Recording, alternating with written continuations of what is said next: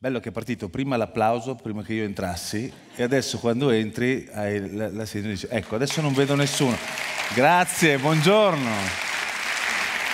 Buongiorno, buonasera. Allora, prima di iniziare devo dire due cose. La prima è che, come avete visto anche da Aminatà, Gabriella, Fall, l'ho detto bene? Ok? Lei ha usato delle slide. Chi, parlato, chi parlerà dopo di me utilizzerà delle slide meravigliose. Io di solito sto alle slide, cioè ne capisco più di, di pettini che di slide. Però ho dovuto farle. Mi perdonerete per la qualità delle slide, ma tanto è la prospettiva quella che conta. No? E siamo qua a questa. E questa è la prima cosa che vi chiedo. La seconda, ho visto il pubblico in sala e si parla di gioventù, vedo un sacco di giovani, ecco, il mio intervento si riferisce ai giovani, soprattutto ai giovani che hanno una ventina d'anni di esperienza oltre i 30. e capirete tra poco perché.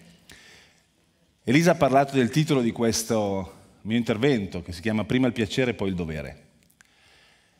E dire in Veneto, prima il piacere e poi il dovere,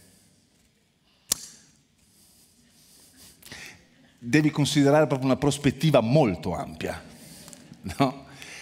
E io nasco naturalmente con il, vecchio, con il proverbio con cui tutti quanti siamo nati, prima il dovere, poi il piacere. Mia madre è, è, mi ha cresciuto con prima il dovere, poi il piacere, fin da quando allattava. Prima finisci, poi eventualmente giochi. Vai all'elementare, prima finisci i compiti, prima fai il tuo dovere e poi eventualmente vai a giocare o vai con gli amici. E poi così alle medie, nei miei otto anni di liceo, capite bene che c'è speranza per tutti. Eh? E quindi questo, questo, questo messaggio no, del prima dovere poi piacere, prima dovere poi piacere, tu da quando sei bambino lo senti e non lo metti mai in discussione, perché funziona così, tutto il mondo funziona così, da sempre. Vorrei iniziare parlando di una... Io faccio questo lavoro da eh, avevo 23 anni quando ho iniziato, quindi sono 27 anni che faccio il coach. E mi è capitato di lavorare con diverse persone. Prima vi dicevo, mi riferisco alle persone che sono dei giovani trentenni con 20 anni di esperienza, perché bene o male il cliente tipo che si rivolge a me per il tipo di coaching che io faccio ha dai 40 anni in su. E magari ha iniziato a lavorare a 20 anni, a 25 anni, a 25 anni hai la fame vuoi ottenere risultati, per te non esiste altro. Se poi hai la smania di diventare qualcuno, di avere successo, di ottenere risultati, di costruirti un futuro, tu vivi, non dico 24 ore su 24, ma tre quarti della tua giornata con questa ossessione positiva in testa. E non è un problema, ti piace il tuo lavoro e soprattutto hai, questo, hai radicato questa convinzione che diventa un'identità, prima il dovere, poi il piacere, prima il dovere, poi il piacere.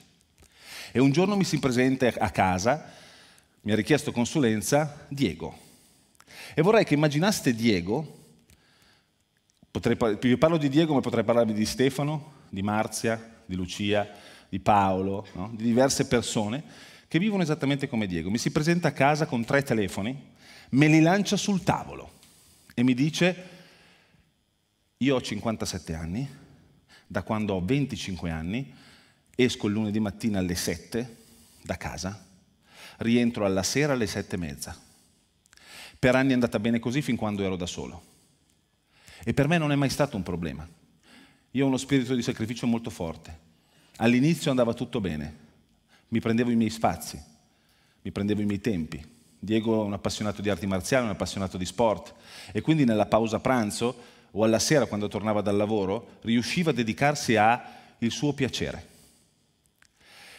Ad un certo punto, necessariamente, giustamente, Diego decide di mettere su famiglia e quindi ha una moglie, ha dei figli e continua a fare la stessa vita nello stesso modo, perché non sa fare altro, non sa fare altro in nessun altro modo.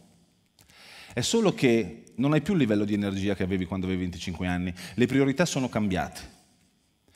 Ma non ti sei accorto di una cosa, che quello che prima era un momento di vanto, una forma di vanto, no? io sono un gran lavoratore, uno degli, dei complimenti più belli, più forti, più sentiti per un italiano, ad un certo punto ti si ritorce contro, arrivi al punto in cui ti rivolge un coach per dire il mio problema non sono ottenere risultati, io questi li ottengo da sempre. Il mio problema è che i miei figli stanno crescendo da soli e che mia moglie mi ha dato l'out-out, è che io non so fare altro in nessun altro modo. Lì diventa importante capire, cominciare a mettere in discussione delle proprie convinzioni, soprattutto se non sono più funzionali per noi. Allora, prima il dovere e poi il piacere, se ci pensate, io me lo sono raffigurato, e notate anche la qualità delle slide, me lo sono raffigurato in questo modo. Ci hanno sempre insegnato che se tu fai il tuo dovere, prima o poi il piacere ce l'avrai. Se tu fai il tuo dovere, prima o poi il premio finale tu ce l'avrai. Allora, se penso a un'immagine, penso al cavallo che corre facendo la cosa che gli riesce meglio, facendo la cosa per la quale è nato e si impegna e corre sempre più forte per arrivare a raggiungere quel piacere, il premio finale, la carota, perché non si accorge che quella carota è semplicemente un bastone collegato a una... La carota è collegata a un bastone, attaccata alla schiena, e lui non sa che sì, ce l'ha lì davanti, ma difficilmente la raggiungerà. E sapete perché? Perché quando tu fai un comportamento per un sufficiente lasso di tempo, questo comportamento diventa un'abitudine. E un'abitudine non è altro che un comportamento talmente ripetuto da diventare automatico. Arriva un momento in cui tu corri convinto che ci sarà il, premio finale, ma ti sei talmente abituato a correre che il premio finale, cioè il piacere, diventa un e poi. E nella tua testa c'è prima il dovere, c'è solamente prima il dovere, esattamente come per Diego.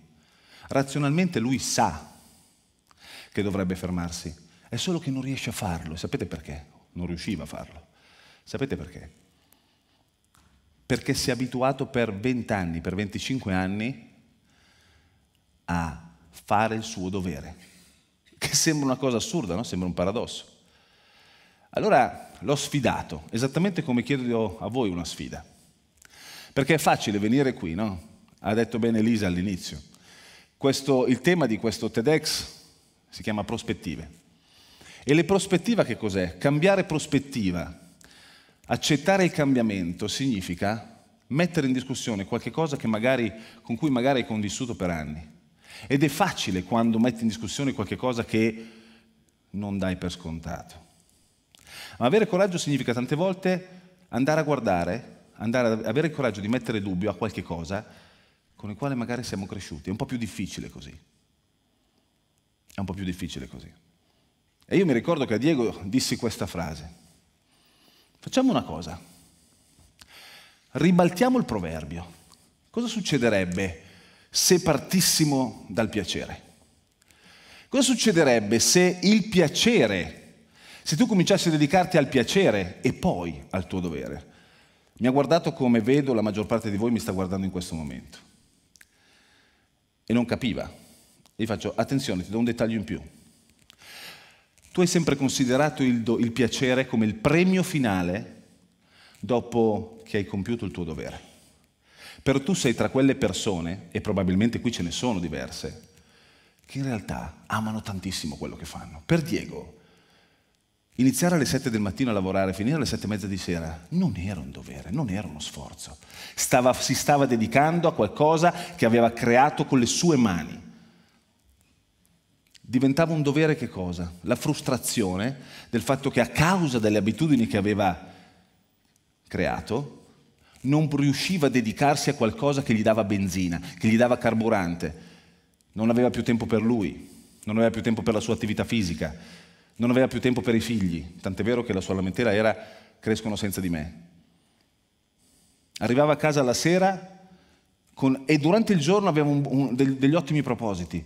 Questa sera gioco con i miei bambini. Questa sera porto mia moglie fuori. Questo weekend andiamo al mare, andiamo in montagna. Arrivava il weekend, il sabato mattina però aveva questo impegno urgente al lavoro. Il sabato pomeriggio staccava un attimo e poi si addormentava sul divano.